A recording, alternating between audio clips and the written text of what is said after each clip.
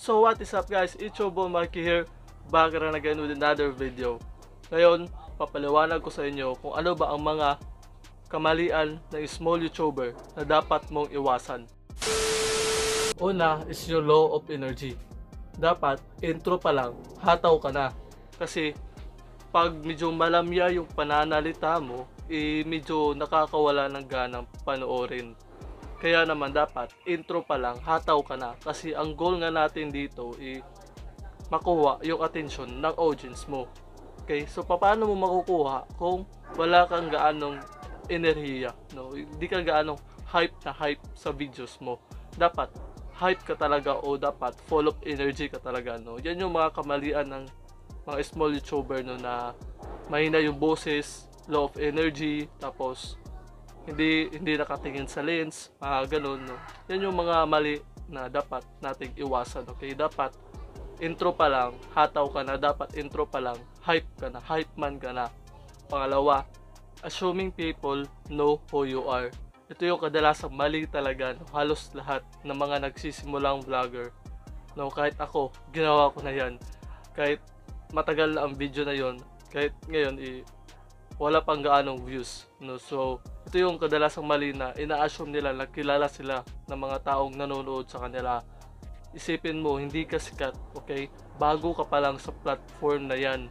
Kaya, hindi ka pa nila kilala. Okay? Huwag mong i-assume na kilala ka ng mga nanonood sa'yo. Dapat mong gawin ay magpakilala ka muna sa kanila. Hindi yung intro na magpapakilala, okay?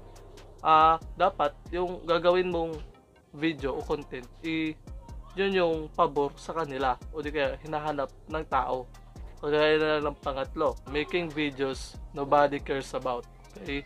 In short, gumagawa ka ng videos na walang pakialam yung mga tao. Kaya na lang more about me, what's in my bag, ah, ano yung mga things na ayaw ko, yung mga ganun, yung mga content na ganun.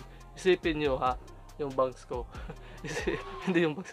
Isipin nyo, okay? Hindi kayo sikat o tinitingala ng mga tao na kilala na hindi ka pa nila kilala. Okay? Kaya wag kang gumawa ng video na pabor sa'yo. Dapat gumawa ka ng video na pabor sa mga manonood sa'yo.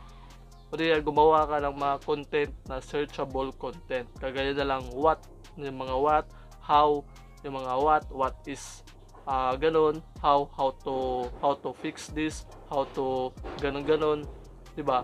Yung mga searchable content, gumawa ka ng ganun, okay? Huwag yung mag-asta ka na kilala ka ng manonood sa'yo o di kaya mag-asta ka na pinapanood yung ginagawa mo. Pang-apat is yung no main topic. Okay? Dapat meron kang sarili mong content, topic o niche na tinatawag. Dapat may sarili kang ginagawa na ikaw talaga. Okay? Okay lang na manggaya pero pero ang goal dun, may topic ka talaga sa content mo. Kagaya ng iba, topic nila yung pag-unboxing. So, topic nila yung pagre-review. Okay, topic nila yung pagta-travel, pagpunta sa kahit saan na tourist spot. Yung ganun. Dapat may main topic ka sa video mo. Panglima is yung weak titles and thumbnails. Dapat matuto tayong gumawa ng sapat na titles yung maganda talaga, okay? Dapat yung front natin, eh, lahat yan, naka uh, malaki talaga, okay? Dapat malaki para madaling makita. Tapos yung thumbnail natin, dapat gawin nating mas colorful o mas magandang tignan sa mata para maingganyo yung tao na i-click yung thumbnail mo. Pang-anim is yung bad audio tsaka lighting. Okay, kagaya na lang sa akin ngayon, okay? Napakaingay ng paligid ko kagaya nito sa akin hindi maiiwasan niya kasi dikit-dikit yung bahay sa amin tapos may nagko-construction ngayon. Tapos yung lighting naman i dapat mag-invest ka ng ring light. Katulad na lang nito. Uh, papatayin ko siya okay? So so ganan yung mangyayari kung walang lighting dito okay gets nyo dapat matuto tayo mag-invest para sa sarili natin para sa ginagawa natin kung gusto mo yung ginagawa mo dapat matuto ka mag-invest 7 naman is yung lazy tags and description. Okay? Dapat matuto tayo maglagay ng kahit kaunti lamang na description sa baba ng video natin para siyang parang yung magpo-post ka sa Facebook, yung nalalagyan mo ng caption, dapat lagyan mo rin sa description mo. Maglalagay ka ng title mo doon, kung anong title mo, anong ginagawa mo, paano mo yan nagawa, lagay ka ng mga contacts mo sa description mo. Tapos, lagay ka din ng mga tags. Itatags mo siya kung anong klaseng video yung ginagawa mo. For example, nagta-travel ka. So, lagay mo doon sa tags, travel vlogs, tapos ano yung napuntahan mong lugar. Kasi mas specific yung video, pagkagagawa ng video, may description, may title, may thumbnail, tsaka may tags. Mas nire-recommend yan ni YouTube, okay? Dapat nating gawin yan. Ang walo is being inconsistent, okay? Ito lang yung last talaga na hindi gaanong nagagawa. No, dapat consistent tayo sa ginagawa natin, okay? Ito yung mga kamali din na small YouTuber na hindi consistent sa ginagawa.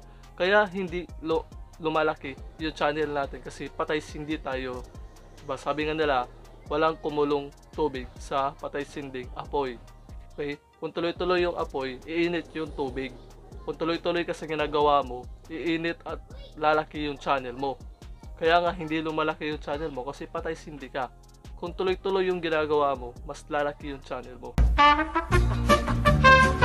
So yun lang muna sa ngayon guys. Don't forget to like, comment, and subscribe and click the notification bell para mas masaya at support Filipino vloggers. At saka huwag nyo rin kalimutan guys, may live stream tayo every Sunday 8pm. Magla-live tayo doon. Uh, tulungan program tayo doon. Lahat tayo magtutulungan 8pm hanggang 10. Tuloy-tuloy na yan. Sunday. Okay? Gabi yan. PM. Okay?